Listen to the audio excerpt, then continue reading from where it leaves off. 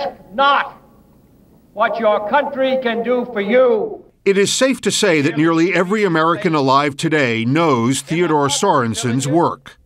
Ask what you can do for your country. He was JFK's favorite speechwriter and helped introduce the president to the nation. Sorensen had been writing for him since Kennedy was a freshman senator, and Sorensen was a 24 year old, fresh from his hometown of Lincoln, Nebraska. Working with this one man for 11 years uh, merged our two styles. I knew what he wanted to say, I knew how he wanted to say it. Sorensen helped write Kennedy's Pulitzer Prize winning book, Profiles in Courage. For years, scholars have speculated that he was the main author. He always sidestepped the question. It's no great secret that your intellect, your words, were an integral part of the book. Well, I've tried to keep it a secret.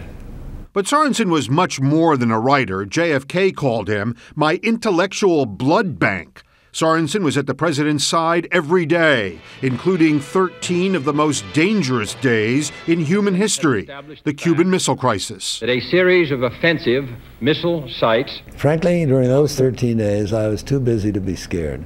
As nuclear war between the U.S. and the Soviet Union drew closer, Sorensen crafted a letter from JFK to Soviet leader Nikita Khrushchev that diffused the crisis.